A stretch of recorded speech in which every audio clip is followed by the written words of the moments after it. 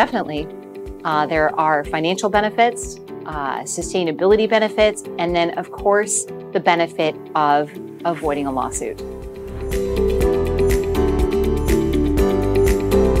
You should consider asset remarketing because it's the most sustainable way to participate in a recycling program. It extends the life of the device, and it's really the greenest way to recycle. The other benefit is, of course, financial. There is the potential for financial gain from the remarketing of the assets rather than recycling the assets.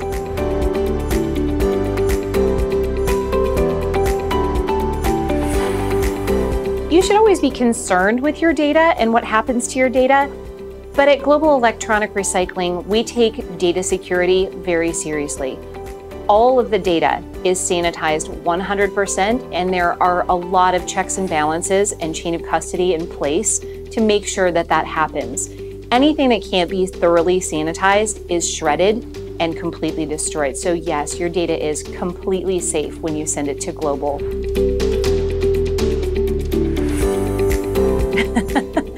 we hear that a lot. Uh, that's actually not true. We've seen devices that are as old as, you know, 20 or 25 years old, maybe even older, that still have a significant value. Uh, not all things fall into that category, but it's always good to check with us first to see if your asset has value before you decide to just destroy it.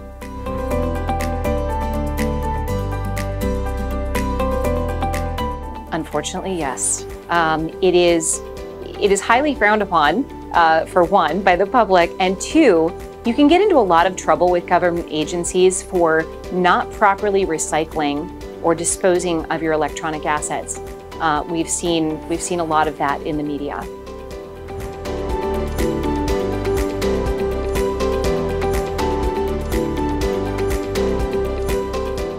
Unfortunately, yes.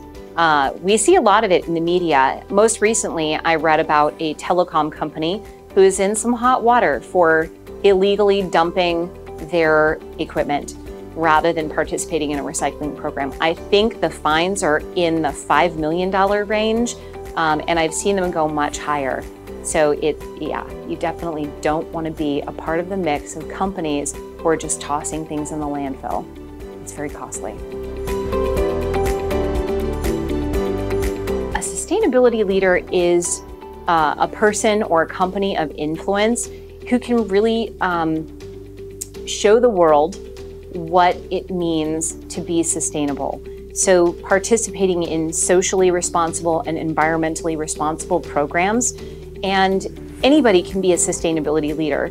Uh, it, it doesn't really take as much effort as one might think to be really sustainable.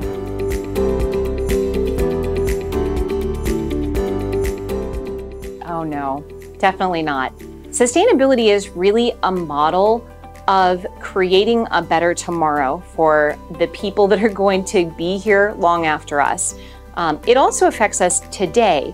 If you think about a device and what it takes to put a device together, all of the mining that takes place, everything that goes into it really, you know, depletes the earth of the natural resources. So if we're not working in a, in a more sustainable way, um, like participating in a recycling program, an ITAD program, you're really just hurting tomorrow and, uh, and the resources we're going to have available to depend upon to fly, to drive, to run our tech for electricity, all kinds of things.